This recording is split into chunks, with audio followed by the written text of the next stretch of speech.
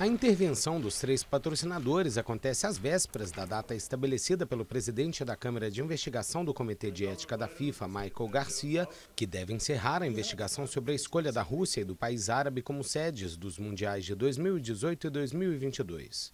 As empresas Sony, Adidas e Visa defendem o esclarecimento do assunto e que sejam decididas sanções pertinentes ao caso. Doha nega as acusações de corrupção.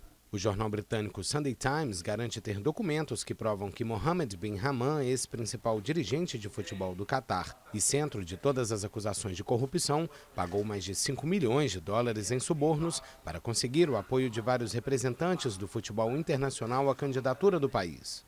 Os documentos supostamente mostram que Bin Haman teria pago até 200 mil dólares a presidentes de 30 associações de futebol africanas, além de quase 2 milhões de dólares ao ex-presidente da CONCACAF, Jack Warner, também vice-presidente da FIFA, que se demitiu em 2011. Garcia deve enviar um parecer à Câmara de Resolução de Disputas, que deve decidir por um simples procedimento disciplinar ou mesmo sanções imediatas contra a entidade.